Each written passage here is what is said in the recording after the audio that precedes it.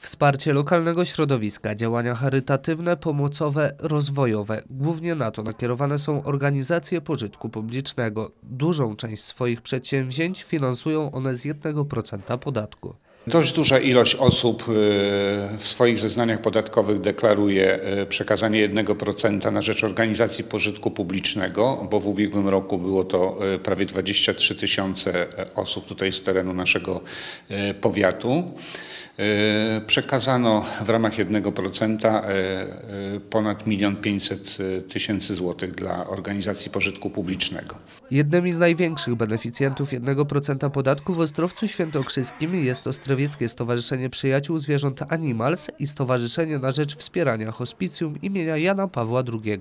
Od samego początku 1% jest wielkim wsparciem dla naszej organizacji, dla hospicjum i dzieł przy nim tworzonych między innymi też rehabilitacji dla dzieci, rehabilitacji dla dorosłych, badań ambulatoryjnych, w ogóle inwestowanie e, w sprzęt, który tutaj e, uzupełniamy każdego roku. W ubiegłym roku ze środków przekazanych w ramach 1% podatku do Domu Ulgi w Cierpieniu imienia Jana Pawła II udało się zakupić m.in. specjalistyczne łóżka wielofunkcyjne dla chorych, szafki i koncentratory tlenu. To wszystko służy mieszkańcom hospicjum, jak i pacjentom. Mamy 40 parę tysięcy złotych do wykorzystania e, w tym roku, w pierwszym półroczu Pragniemy między innymi e, zainwestować w zakup sprzętu rehabilitacyjnego, e, ponieważ chcemy uruchomić też rehabilitację pokowidową, e, ponieważ wiele osób ma problemy z płucami, z oddychaniem, również z, i z metodyką i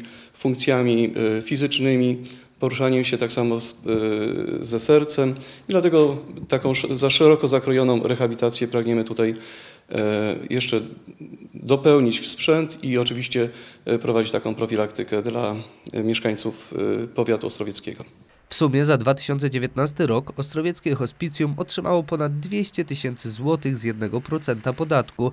Już niebawem trzeba będzie się rozliczać ze skarbówką i tak jak dotychczas 1% można przekazać na wybraną organizację pożytku publicznego. Możemy to zrobić w różnych formach. Jeśli dotychczas jakiejś organizacji przekazywaliśmy 1% i skorzystamy z usługi y, Twój EPIT, to y, jeśli tam automatycznie zostanie wypełnione zeznanie, to już nie musimy y, wskazywać tej organizacji, bo ona zostanie przeniesiona jak, gdyby automatycznie z poprzedniego roku.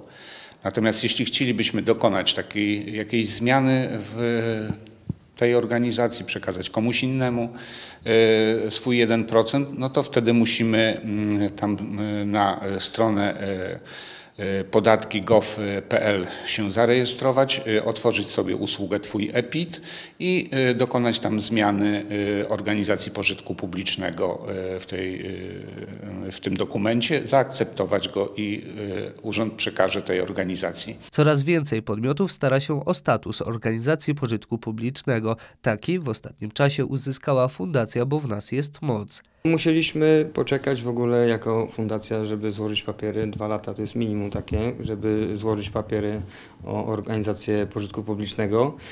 Chociaż to mówię, w dobie tej y, pandemii, która teraz jest, troszkę te papiery nam y, długo leżały w sądzie, dlatego na pewno ten okres by y, skrócił się do minimum, gdyby nie było takiej sytuacji, aczkolwiek no czekaliśmy dosyć długo, bo czekaliśmy 6 tygodni na e, wpisanie nas e, na listę organizacji pożytku publicznego. Na przestrzeni ostatnich lat fundacja zorganizowała wiele przedsięwzięć charytatywnych, tym samym wsparła wiele osób. Założyciele nie zwalniają tempa. Obecnie mamy 26 podopiecznych, także zgłaszają się do nas y, ludzie y, nie tylko z okolic Ostrowca, z samego Ostrowca, ale ostatnio mieliśmy zgłoszenie z Gdańska na przykład, czyli z całej Polski. Y, staramy się działać prężnie, cały czas prowadzimy zbiórki, cały czas prowadzimy licytacje charytatywne, zgłaszamy zbiórki publiczne, czyli możliwość zbiórki do puszek i skarbon kwestowych, także cały czas idziemy do przodu. Środki z 1% podatku są niezwykle pomocne, tym bardziej jeżeli zostają przekazywane dla organizacji lokalnych. W obecnym czasie 1% podatku można przekazać bez wychodzenia z domu za pośrednictwem internetu.